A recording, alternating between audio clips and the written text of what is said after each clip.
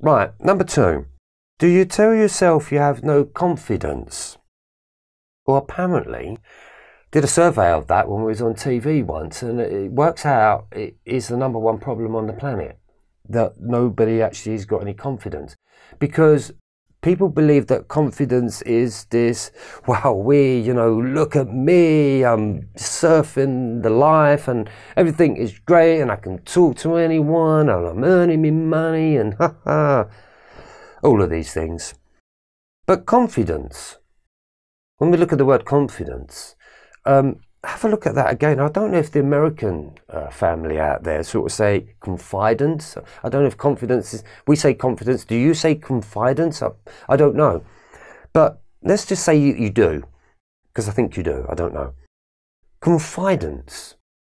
Confiding, confidence. It kind of, when you look at how it's spelled, it's very similar, isn't it? Because there is the word confide in there. Confidence comes in the way that you confide within yourself.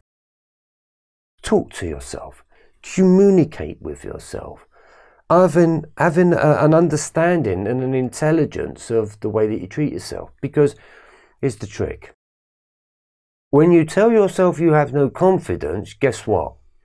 You have no confidence. Now, you don't have to go round keep telling yourself, I'm a very confident being, I'm a very confident being, I'm a very confident being. The art behind it all is, is stop telling yourself you have no confidence. That immediately gives you confidence because it balances it out. You know, when people turn around and say, oh, you know, you're negative, you've got to be positive. You know, use your positive affirmations and it'll stop the negative. No, it won't. Stop the negative affirmations that you keep telling yourself and you neutralize everything. You don't have to give a positive affirmation because you're trying to put a positive with a negative and that's kind of not working. The only way to make a battery run is that you need a negative and you need a positive and they neutralize each other to give the energy of the battery. Makes sense? Yes, it makes sense. So to to heal something is to stop telling yourself something. If you think you, that you're weak, I'm, no good, and I'm useless, and I never amount to anything, my life is shit, and well, I'll never find love, and who'll want me, and uh, I'll never find a relationship. God, the questions are endless. Stop that, and you'll realize everything stops your whole workings in your mind just literally just it, it stops. Because that's all you've been telling yourself. Stop that. You're banned. From now on in you're banned. Do you feel like there is something missing in your life? A yacht. Massive house. Great looking woman. Kids. Money. No I'm missing in life. I'm missing me. I'm missing something within me in my life. I'm missing something. And you all got that feeling? And it's a feeling that sits within us. And it's what puts you on the search. Your, this feeling gives you this searching feeling that you're trying to understand. It's like, I know I've forgotten something. I'm not quite sure what it is. It's like when you mislaid your phone or you mislaid your keys, mislaid the kids. Joke. Um, you know, this, have I forgotten to do something? Did I forget to lock the back door? Did I leave the windows open? Did I lock the car? It's the same feeling, but you've got all these other material words that you're sort of putting on top of that to find out if that is the feeling that you're actually missing. For me, when I knew that there was something missing in life, I think it was my own intelligence. I think it was the gift of healing. I think it was the power of my own voice. I think it was the power of my mind. It was me expressing myself properly. It was me having a responsibility of me. And I think all of these things that were actually missing because the outside world had kept me so busy that I knew there was something missing, and that meant that I didn't give myself any time really because I was just too busy on the outside world. And when that outside world stops, by the way, as it's done for many of you, that's the moment when you really realize how in pain you are. And that's why you go through such a lot of pain, and then you sort of look at the awakening and you think, shit, this is a lot of pain. Why is this awakening so painful? It's not that the awakening is so painful, it's, it's letting you know you're in a lot of pain. Because it, at that moment in time where everything shuts down, you're in incredible amount of pain. And it kind of hits you so hard. And that's why you can't get out of bed in the morning. So there's many of you out there that can't get out of bed in the morning. Because the pain, wow, I never realized how much pain and anger and stuck energy completely shuts you down. And that's when you can go to the doctors and they say, There's nothing wrong with you. We can give you some tablets if you like, but there's nothing wrong with you, but we'll give you this anyway. What are you giving me tablets for then if bloody nothing wrong with me? What are they going to do then? Them tablets can't explain my whole life. Them tablets are not going to all of a sudden work out my life from a shitty upbringing right to a shitty life, right to where I'm at at this moment. That's not going to sort that out. It'll never sort that out. But take them if you want to take them. It's up to you. So that's what's missing in your life. You could say love is missing in your life. You could say confidence is missing in your life. You could say awareness is missing in your life. You could actually say God is missing from your life. You could say energy is missing from your life. Enthusiasm is missing from your life. So many things that we actually are missing that is connected to the self. Compassion could be missing from your life. Creativity could be missing in your life. And that's why this book has only got the certain amount of words in it. The rest of the words I don't need to talk about. I don't need to use them because they serve me no purpose. So what I decided to do was get rid of the words. Get rid of the words that serve you no purpose. As they say, all there is is love. Well, right, yeah, maybe. There's a lot more than that. All there is is naturalness. Everything, the sparrows, the birds, the ants, the bees, the trees, what they all being? Naturalness. A giraffe, a rhino, a lion. Natural. It's just being natural. Find your naturalness. That's been me. Right, okay. So that's what you got to do. Find out and question yourself and ask yourself nicely what is missing in your life? Nothing material. Don't even mention anything material. What is missing in your life that you could change? And it can be just one word, simple as that. Do you feel like you are in a void or dark place? I did for many years. And my God, I, I didn't realize there was a black more blacker than black. I didn't realize that my mind could go so blank and so black. I didn't realize that even trying to think about what I was going to be doing tomorrow wasn't happening. I couldn't even. It was like as if my thoughts just stopped there. There was there was no future events. My thoughts couldn't move forward. There, God, there was no visions. There was no absolutely nothing.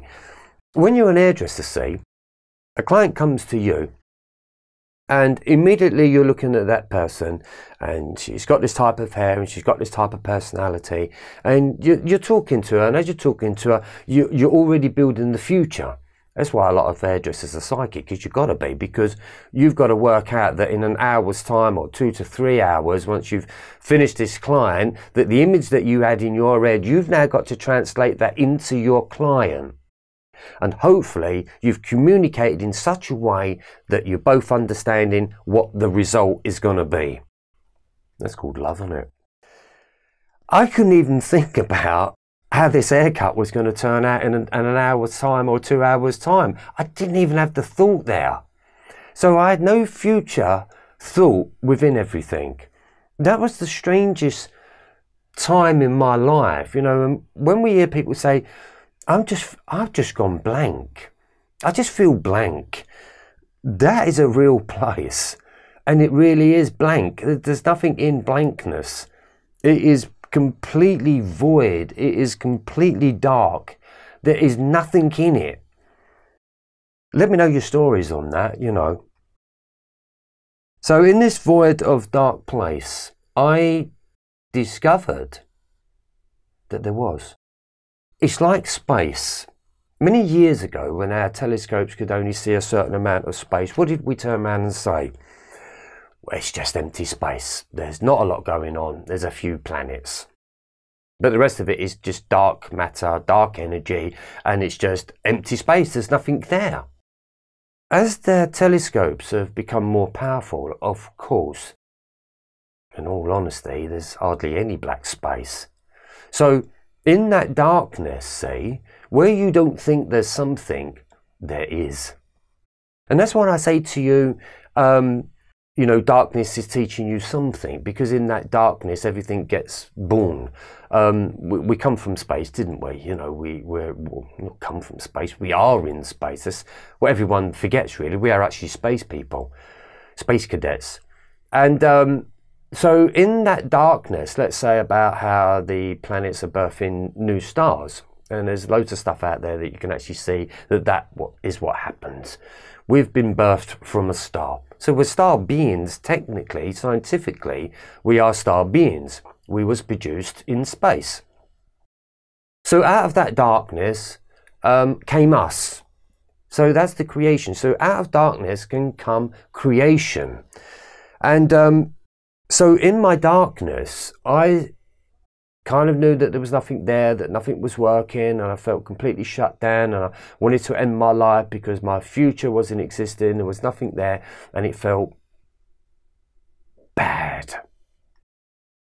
There ain't a worse word than bad, but whatever the worst word is, bad, it is bad. So there was no chance, but because I spent so long in there and I couldn't escape it, I started to realise that there was something there. And what was there was me. It was a place that you could call meditation, but it might be quite nightmarish and quite hellish, really. But because there was nothing there, I realised that something within me felt like it was worth nothing, and that I was nothing, and that I had nothing, and that my life didn't amount to nothing. So, in that place, you can communicate with the stars, if you like, your own star. And you start to communicate with yourself in a way, and you will moan a lot, you'll cry a lot, you'll have a go at yourself a lot. But you realize that all you're doing is you will be attacking yourself. That's good for a while. But Beamism teaches you to let off a bit here. Why on earth do you keep attacking yourself? And the reason behind that is, is because you think if you attack yourself enough, you're going to get up off your backside and do something about it. But you're actually digging yourself a grave. And that's why people feel like that they've gone deeper and deeper and deeper into themselves. And they've gone so deep, far in within themselves that they can't see a way out. So you've actually dug yourself a grave. I've been there myself. So I'm handing you the shovel to start actually digging yourself out. And do you know the interesting thing? I had a vision, and it was like a metaphor. And um, it was as almost as if Spirit said to me, If I chucked you down a rope, what would you do with it? I had two choices, right?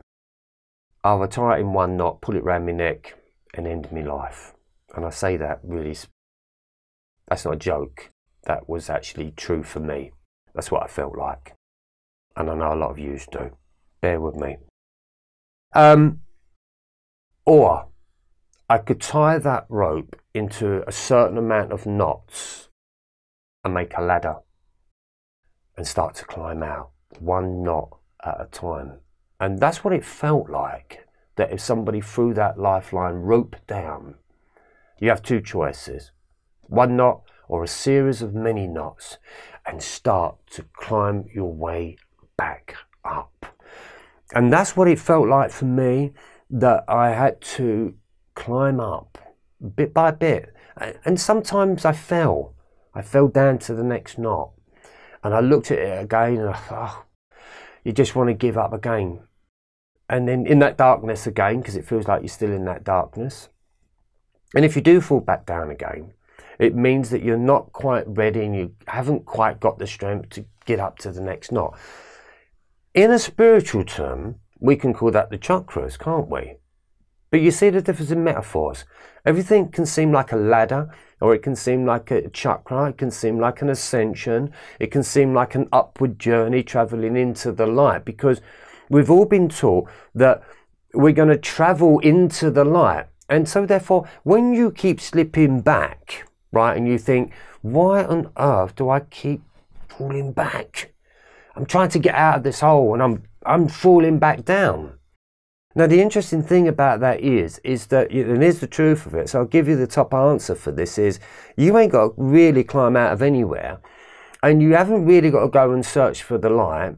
Um, and the light isn't really going to come to you, even though we pray for it a lot, because again, that's like love, isn't it? You want it to come to you. You're not going to do the work. You want it to come to you. But what I've realized was, is as I started to understand my darkness and the darkness that was obviously surrounding me because it was a great teacher, you start to reveal a bit of light from yourself. Imagine this. In the moment that you're born, you've come out of darkness, haven't you? Because you've come out of the womb. And then you're kind of in the light, as they would say. Technically, that's really what it is. You're onto the planet. You're into the light of. But this planet is quite dark, so you start to lose your light. And every time you get told off, or every time someone's had a go at you, or every time you feel like you're a failure, it feels like that you put an overcoat on. Right? You start to feel heavy, don't you? As the years go on, you put overcoat, overcoat, another overcoat, another overcoat, another overcoat, all of these things that are affecting you. Because what these overcoats are doing is that they're actually um, pushing you back into your darkness. They're, they're shutting down your love. They're shutting down your light. They're stopping you from expressing yourself. And in the end, you've got so many overcoats on that you feel so heavy.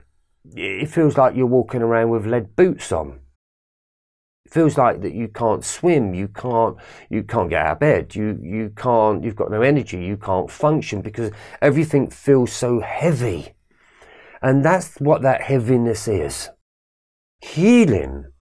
You know, you can try and climb up that ladder with that bloody heavy coat on, and it does, it feels like you've got 20 people sitting on your back trying to climb out with you. And that's what makes you fall because you can't hold on to your own weight because you're carrying so much shit up this ladder that you fall back down into the hole again. Hopefully, this is making sense. And so, therefore, you look at that and you know that you've got to get up there and you know that's the way out. Right, this is all too heavy. What have I got to do? Right, unload some shit. Unload and take off an overcoat. Making sense? Taking off the overcoats, the problems, the people, the thoughts, the depression, the unlovingness, the illness, depression, anxiety. You've got to strip that stuff off before you can start to climb back up the rope. That's healing. So that's why you're in the dark night. And that's why you're in the dark space because the darkness is teaching you to take these coats off if you're going to understand one, yourself, healing the self. And the reason why you've got to do this is because once you know how to do it, that's where you will discover your own truth in it all. Your own truth. No good listening to someone else. Really, you know, I'm giving you my story. What you take from it is down to you. But the, the be me side of it is, is that I'm saying to you, be you, be me, be you. Not be me. Don't be me. I'm just expressing myself, being me, so that you can have a look and see where you're at with it and find your own beamy spirit. And to me, I think it's one of the greatest things ever because I'm not telling you it's way out there or it's up there or you've got to read this, that, and the other. You, you've got your own book, you've got your own soul, you've got your own spirit, you've got your own connection to God, you've got your own connection to self. And this instrument that you carry is an incredible work of art. It's a walking, talking, creative piece of art, and it's priceless.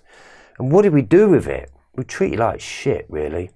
You know, somebody wouldn't give you the Mona Lisa, would you? And you wouldn't go to Walmart and put a frame from Walmart on it, would you? And just hang it up in your loft or in your garage, hoping that somebody will see it. You, you don't. I, I don't understand that the Mona Lisa is worth more than you are. What a crock of shit. Anyway, releasing the overcoats from yourself, you will reveal light. Why? Because you now feel light. I feel like I can breathe. This is beamyism. Beamy is, mmm. Mmm, let me just question that. Who is Beamy? Who is Beamy? Who am I being? Beamy is. Oh, wow. Lots of questions there. No answers, though. Beamy is. Question mark. Beamy is. Oh, or Beamy is. Beamy isn't. Beaminess. Beam me up. It's a bloody religion in itself, I'm telling you. There are eight and a half billion people on this planet, and you're all beamy beings before you was anything. Absolutely. You know, my great message between I and the Father are one is basically God said to me, Son, be me. All right, Dad, I'll try.